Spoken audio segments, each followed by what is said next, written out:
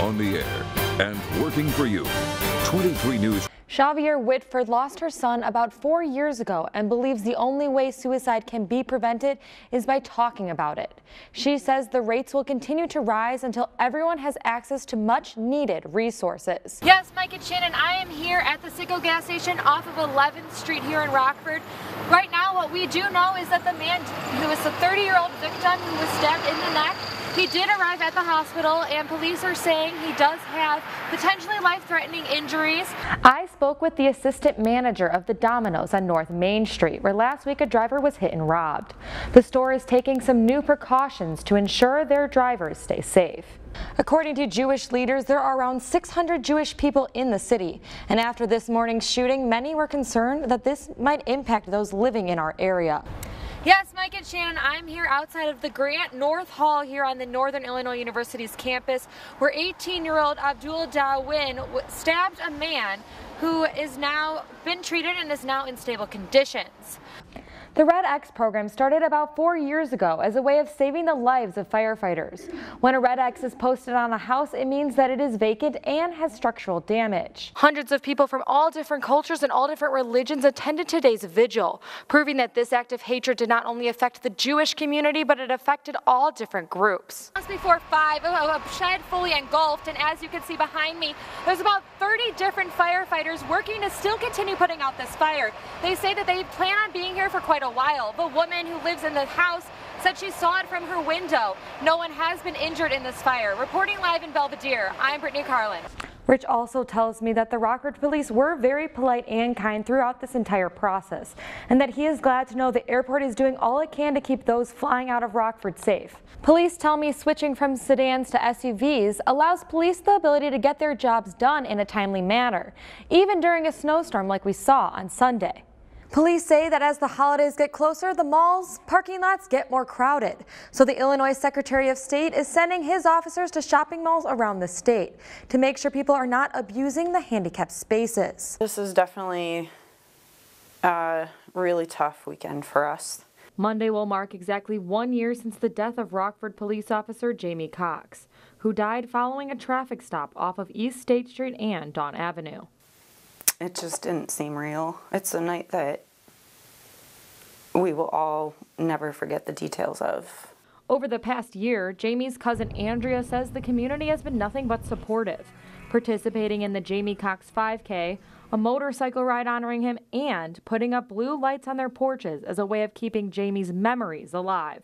Jamie's loss affected, you know, complete strangers. Um, it affected people very deeply. Um, and so I think those blue lights are a reminder for everybody to kind of take a minute and remember we have to have our officers out there. It's the only thing that keeps our community in order. Andrea believes the tragedy created a bond between the Rockford community and its law enforcement.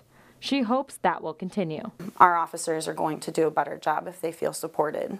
And I can tell you that multiple officers after Jamie's funeral said we didn't realize the amount of support we had within our community until this. Some members of the Cox family are coming together Monday to honor Jamie in a more permanent way. We've been wanting to get some tattoos in honor of him, so I think a couple of us are going to go do that tomorrow.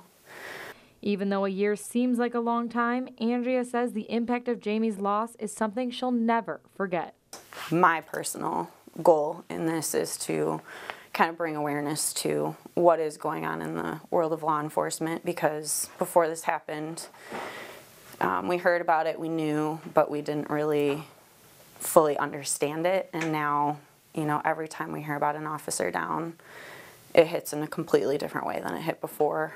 In Rockford, Brittany Karlin, 23 News. So it bothered me. It made me angry. Sherry Dreyfus, the president of the Rockford Jewish Federation, couldn't believe someone would enter into a synagogue and hurt people in their place of worship during a special Saturday service. I've been through uh, baby namings that this is family, this is friends, that they're all there for a very loving and joyous occasion. 11 people died during the shooting at a synagogue in Pittsburgh, Pennsylvania, Saturday morning.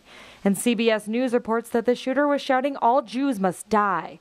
Rockford Rabbi Bina Wing assures the people she is doing everything she can to keep the Jewish community safe. We try and be pretty careful anyway. We have a pretty advanced security system, and um, we're just going to ramp it up a little bit for uh, for tomorrow, and um, just try and reassure reassure our folks that you know it's safe to come here.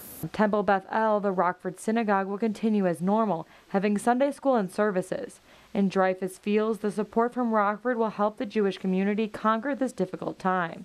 There's a feeling that there's a lot of support in our community. Uh, there's good and there's bad, but there's really, really a lot of good for our, from our neighbors, from our uh, different religious uh, affiliations in the community. Rabbi Wing encourages the Jewish community to continue supporting their beliefs and values. By doing that, we we say we can't you can't make us run away. You can't make us afraid. And so that's what we try and do. In Rockford, Brittany Karlin, 23 News.